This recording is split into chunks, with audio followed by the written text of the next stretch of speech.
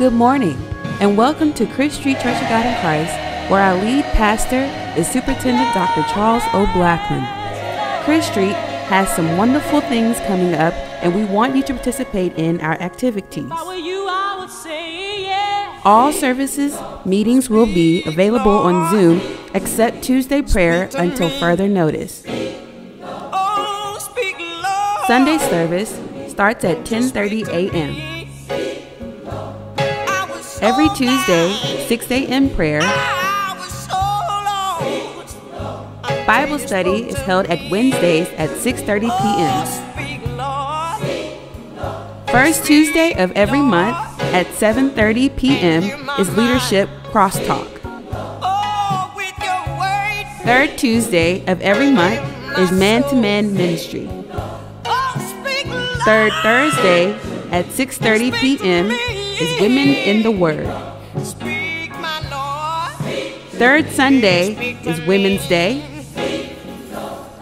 Last Tuesday of the month at 7 p.m. is Singles Ministry. Youth Monthly Fun Time to be announced. We want to wish all October birthdays a happy and wonderful birthday from Crisp Street Church of God in Christ. Hey, Crisp Street family, this is just a friendly reminder reminding you to do whatever it takes for your friends and family to vote, and also you. Deuteronomy 1 and 13 says in the Good News Translation, Choose some wise, understanding, and experienced man for each tribe, and I will put them in charge of you. So we need to get out and vote because this is very important. Who do you want to lead your country? Today is a great day because our very own Superintendent Dr. Charles O. Blackmon will be continuing his sermon on When God Speaks, Part 2. Enjoy this word from God. Amen. We come this morning lifting up the name of Jesus, looking to glorify his name. Listen, I still know if it had not been for the Lord on our side, oh, I, I don't have to say I don't know where I'd be, but I do know where I'd be. Amen quickly as we get ready to go into the Word of God. Amen. Let us, amen, enter his throne and gates with prayer this morning, asking him to let us be in his presence. Father, we thank you this morning for giving us another opportunity. Another opportunity to be in your house. Another opportunity your presence, another opportunity to hear your voice, another opportunity to share your word. We thank you this morning. We ask, oh God, as we come before you, that you shine your light down from heaven upon our souls. Search us today, God, because if we find anything in us not like you, we ask that you take it out. Wash us clean, purge us with his heart, make us white as snow, God, in the name of Jesus. Lord, as you look at our hearts, I ask you to create in us a clean heart, renew in us a right spirit, that God, we will be able to exalt your name freely and come in your presence. God, we ask you to do that for us this morning. Lord, we thank you for these thy servants that have come before you. We thank you for the songs that have went forth. We thank you for the scripture that have went forth. But now, God, we render this word unto you and ask you to breathe upon it, that it be a blessing to the hearers thereof. In Jesus' name, amen, amen, amen. Amen. I ask as we prepare to go into our word this morning, that you would go and look at your Bibles and go to John chapter 1 and verse 5. John chapter 1 and verse 5. Amen. And we pray that we won't tarry before you long. Amen. Praise God. Amen. Praise God. Looking at our scriptures.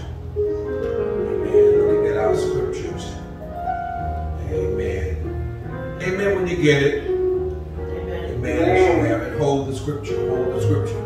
Amen. As we prepare to communicate to each of you this morning. Amen. Hopefully that all distractions will be laid aside.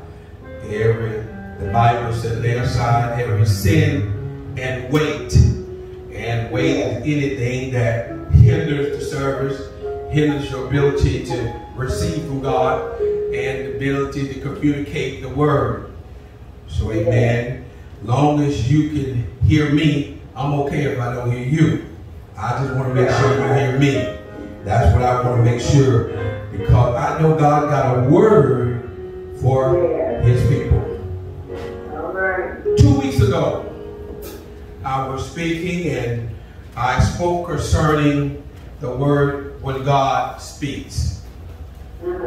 We talked about when Daniel in chapter 10 prayed to God, but the word said, but for 21 days, 21 days, we saw him struggling. 21 days.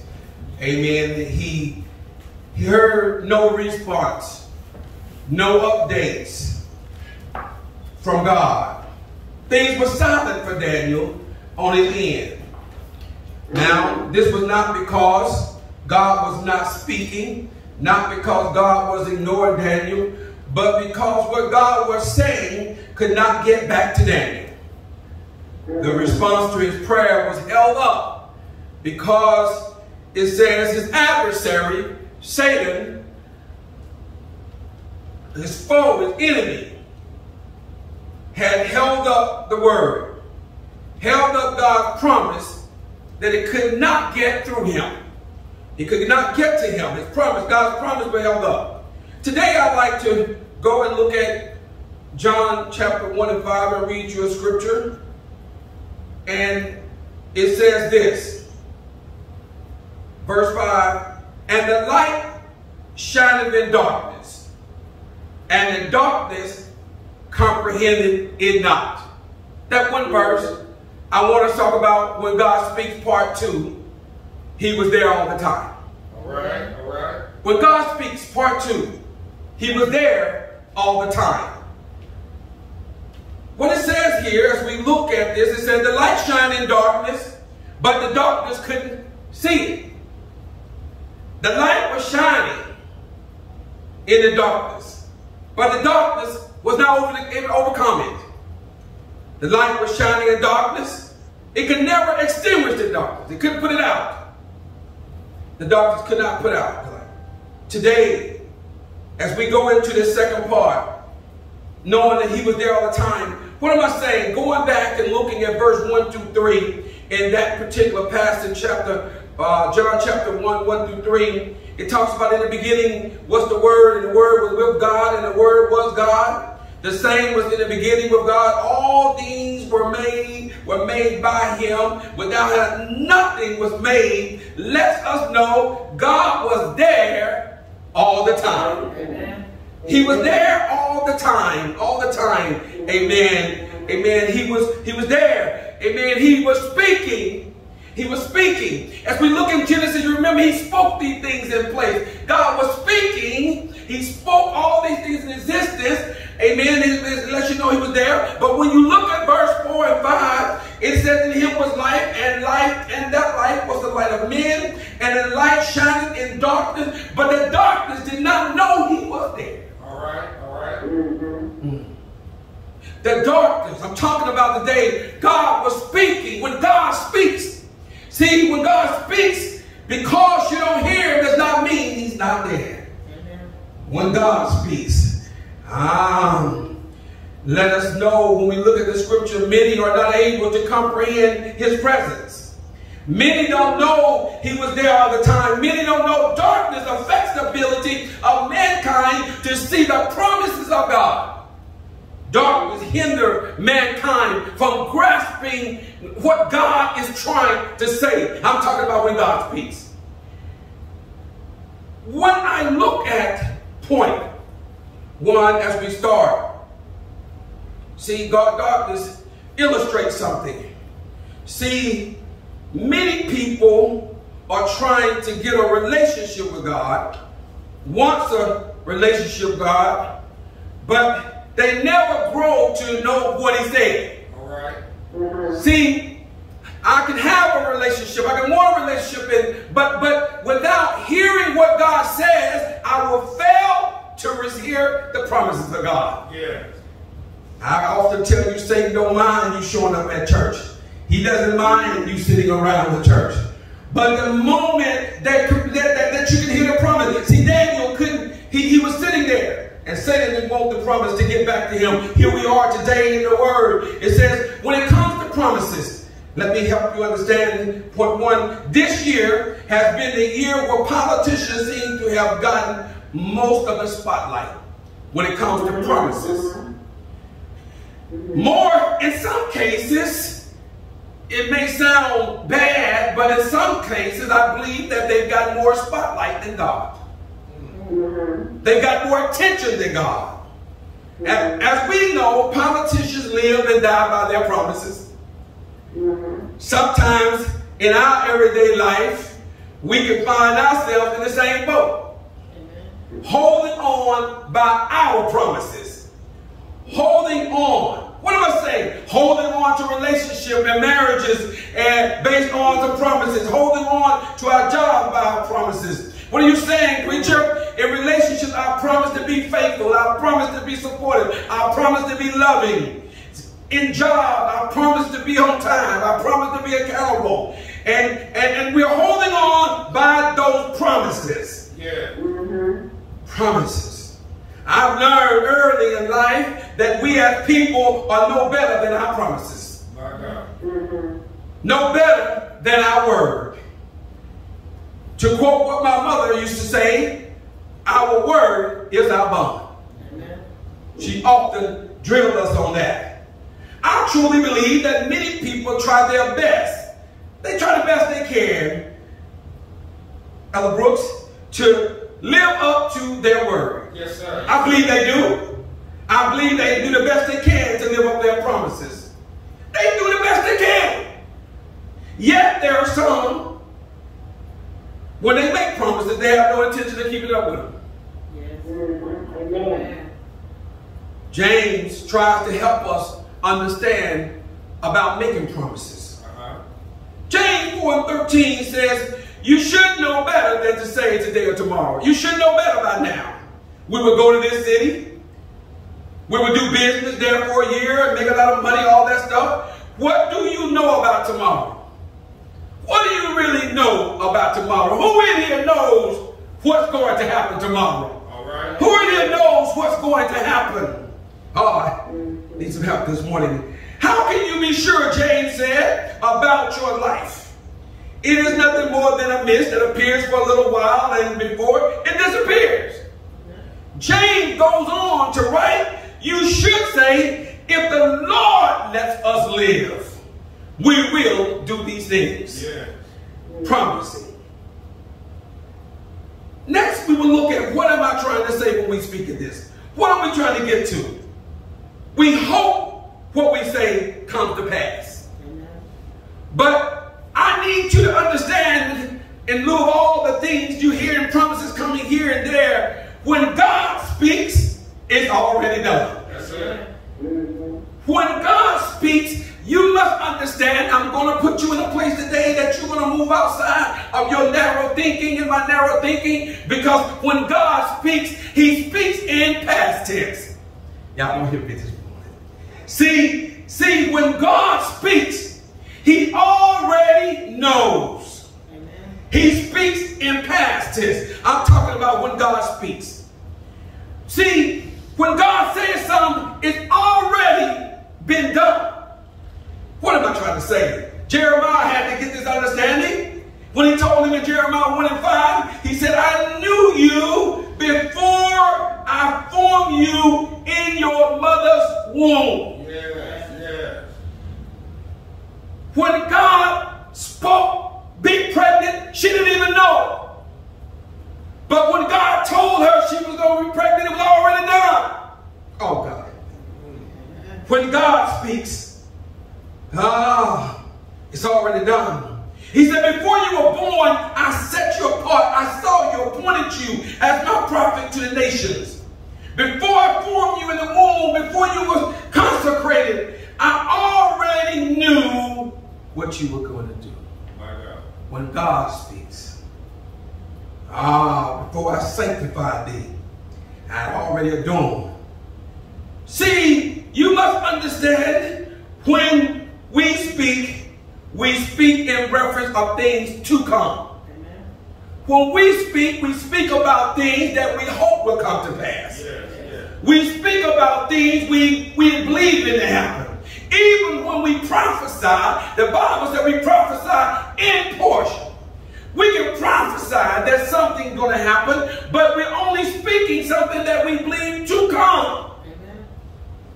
Things, when we speak, we speak in reference to things to come, things that have to be continued to live up to. We speak about things that have to continue to be validated. We, when we speak, we speak about things that no matter how hard we try, it may not happen, but we may speak it. But I need you to understand when God speaks, He does not speak in terms of something that is going to happen, but when God speaks, He speaks in terms that are things that happen already. All right. Ah, I'm going to help your thinking this morning. But see, but God is already, why am I saying this? Because God is already in the future. Yeah. See, see, God is already in the future and he's waiting on us to get there. Yeah. When he speaks to us, he's bringing us into a place where he is. Oh, I'm talking about when God speaks. It's already done. When God speaks to us and tells us what to do or what is going to happen, He's not waiting in the future to see is it going to happen. When He speaks it, it's already done. Hmm. See, God is not speaking something and sitting here waiting on the outcome, waiting to see will it happen. When God speaks, it's already done. See, He already knows what the outcome is going to be. See, God is not in time.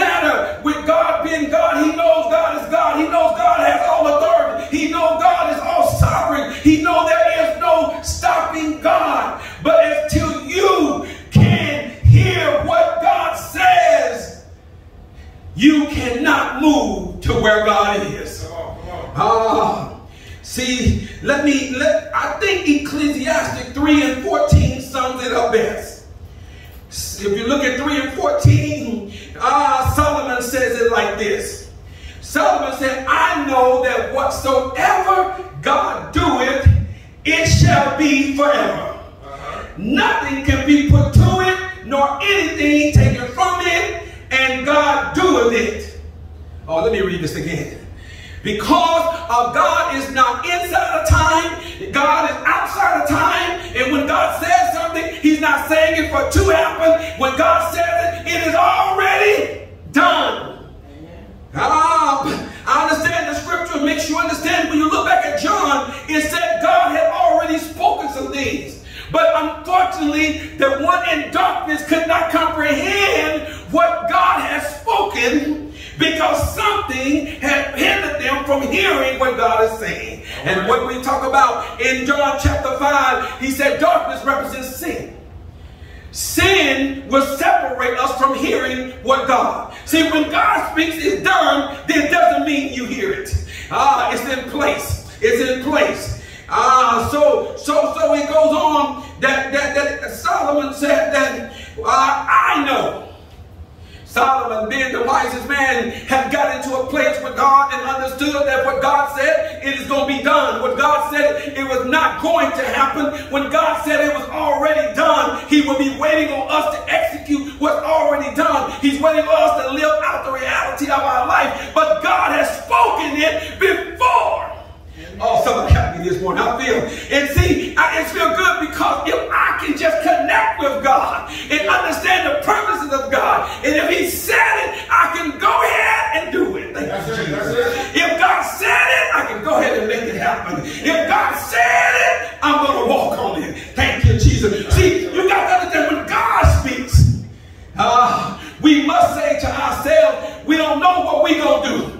But what God says is guaranteed to come to pass. Uh, like I told you, 21 days Daniel wrestled. In 21 days he wondered, but but it wasn't not the fact that God had not already spoken. He just hadn't heard it. But when God spoke it, it was done. Ah, when God spoke years ago that you would be sitting in Crisp Street on this Sunday morning, you had no idea about it. You had nothing to know about it. He just had to wait till you play catch up with him. But God, it had already been done. Ah, thank you, Jesus. Ah, now more and more I understand what the Bible says that, that the steps of a good man are ordered by the Lord. Yeah. Now, now,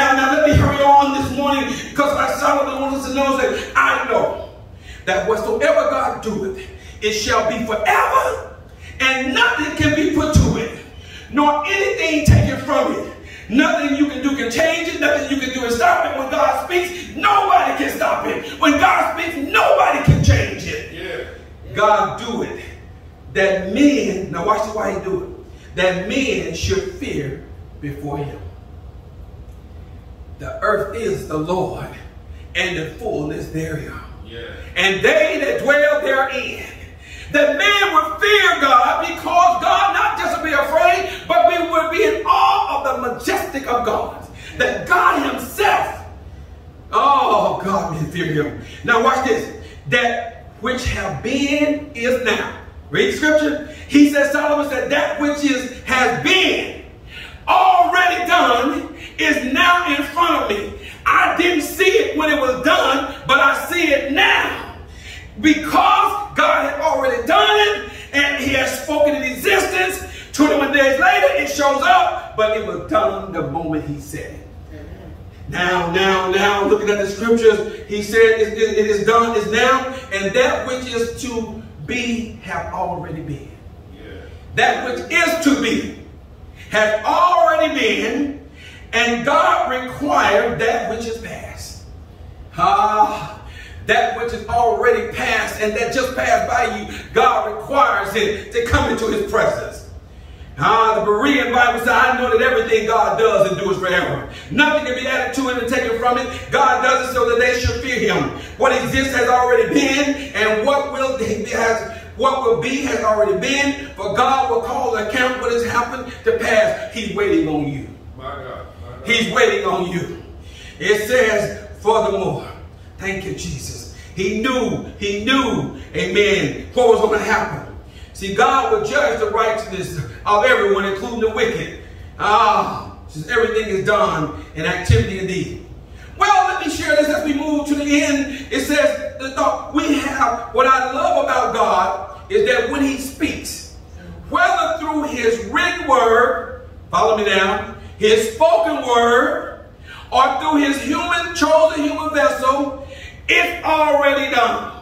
See, when God speaks, whether it's in his written word, is in his spoken word, or through his human vessel, when God speaks, it's already done. When God speaks, you can trust what he says because he was there all the time. When God said. See, what God is trying to do, he's trying to get us prepared for what he has already done. He's trying to get us prepared for what we're coming into when God speaks. Ah, he says a mighty word. What are some of the things that we know? Ah, what God has said. See, that it says in chapter in verse 5. Let me read that again for you as we look again. It says in verse 5 that in uh, uh, James uh, uh, 1. Let's go back to John. John, John chapter 1, verse 5. He said, And the light shineth in darkness. And, the, and, and what's this? And the darkness comprehended it not. Not because it not had been spoken, not because it had not been done, but because God has spoken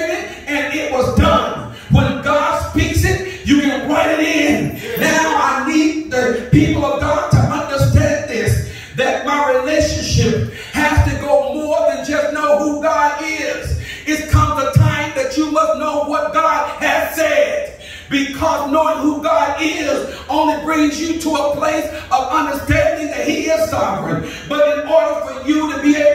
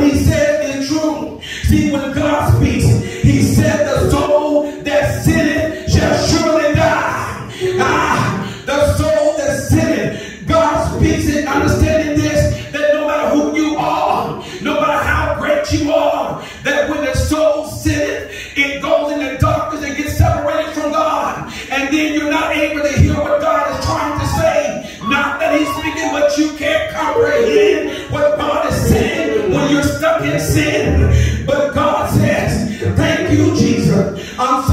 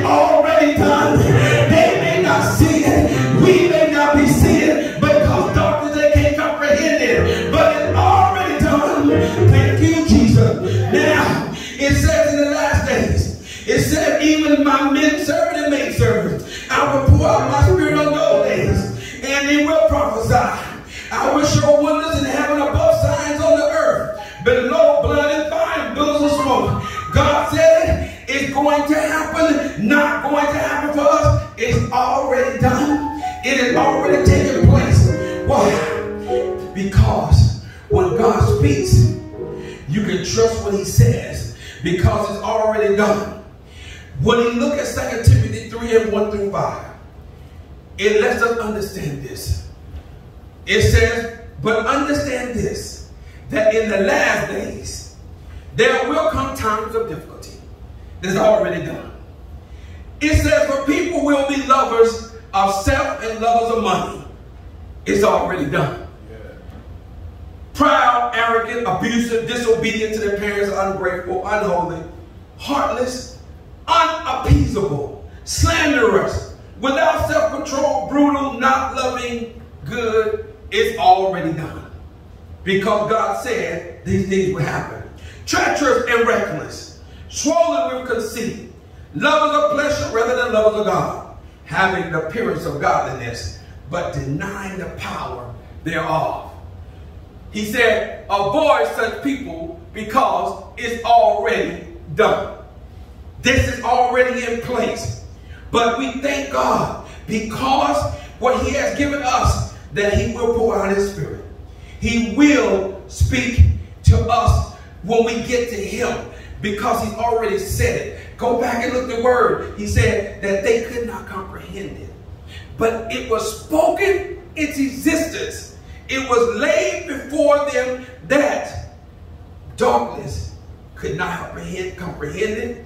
God, darkness didn't know what to do with it, but it did not change the fact that what he had placed in his word, what he put in existence, no matter how long we wait on it, that's why he said, write the vision, make it plain. Yes. Though it tarry, it shall come for us. But he has already laid it in from the foundations of the earth. The sovereign God that we serve does not operate on me getting to a place and then he put things in place. He's already placed it in place. And everything he's doing in my life is bringing it to pass. Thank you, Jesus. He's bringing it to fruition. He's bringing it because in the promises of his word, see, with Jesus, through Jesus Christ, God made some promises. When he told them that I go away to prepare a place for you, he said that that was a promise. That is already done. He's not having, we're not having, he's not waiting on us to decide if we want the place. It's already done. Because in the beginning was the Word. The Word was with God. It was already there. All things was done by Him and put in place. When God wrote the book, He wrote the beginning and the end. Look at the name, it says already done. But what we must do as saints of God, what we must do now is move into a place of understanding in a relationship promises is. We must know what God has said. What about this situation? About that situation? About my life? About what I should do from here? Which way I go? Because what he has spoken for us is already done. That's why many times we find ourselves going down a road and we going down a road and nothing works like we want it. Because what we're trying to do has not been done. But when we turn around after many years of doing it my way, and then step in and do it God's way, look like you just roll right in because it's already done. What you're trying to do won't happen because it has not been done. But what God has done for us is already laid in place. Our deliverance, our salvation. And that's what I want you to understand. He said in the last days. Let me go back to that scripture because that's what we want to Let me read this on up. He said in verse 20, uh, in Acts 2 and 17, after all, the sun will be turned to darkness, the moon to blood before the coming of the great and glorious day of the Lord. And everyone, oh, thank you, Jesus. Verse 21 said, and everyone who calls on the name of the Lord will be saved. is already done. Salvation is already done. Waiting on those that receive the promise to walk into it. Thank you, Jesus. He's not trying to prepare your salvation. Your what you're doing, your works. That's why he said faith, faith without works is dead. Your works is not going to create your salvation because it's already done. Because he said it's already laid. All those that call on the name of the Lord will receive that salvation. I don't know what you've been through. I don't know what you're going through. And I don't know how far you, you are from God or have you ever been near God. But because when God speaks, it's already done, you can accept your salvation today. When God speaks, it's already done, your sins can be wiped away. Blotted out. Cleansed. All you have to do is accept it through calling on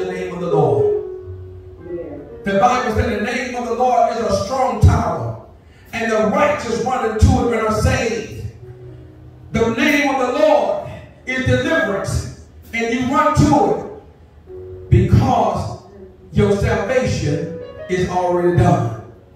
Your healing is already done. Oh, help me this morning. Thank you, Jesus. What you're trying to figure out is already done. But the key to it, when God speaks. Today, I will pray now that verse 5 will come to play and come to pass. That where he said that what they could not comprehend it, meaning that now, God, that because of those sins that blocks us, God, move the sin. Clear the darkness. See the light shining in the darkness, and the darkness can never extinguish the light. Oh, thank you, Jesus. I love this part because I don't care how bad you've been. I don't care how much you have messed up, went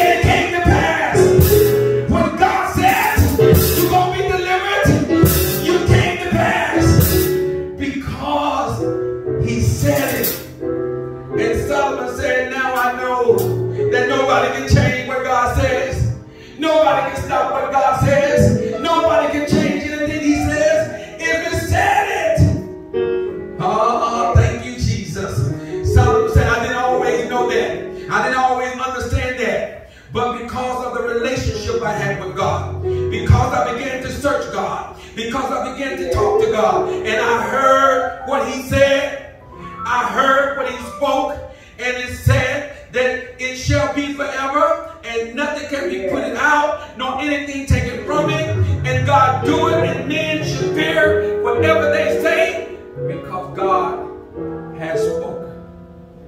Yeah. Today, when God speaks, it's already done. Yeah. Bow your heads. If you don't know it, He has a marked day of salvation for you. He's already done. He's outside of time, and He's ushering you into it. If you have not accepted the Lord Jesus Christ as your Savior, today know that it's already done. Waiting on you to walk into it, waiting on you to receive it. Father, as we bow our heads before you today, we ask you to forgive us for our sins,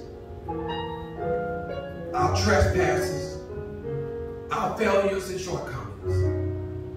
Lord, our heart desire is what you said that all men should be saved. When you spoke that all you would desire for all men to be saved, that created the opportunity for every man, woman, boy, and girl to receive your salvation. So today, I ask God that you touch the hearts of those that don't know you. Draw them nearer. Cleanse them. Send your Holy Ghost upon their lives.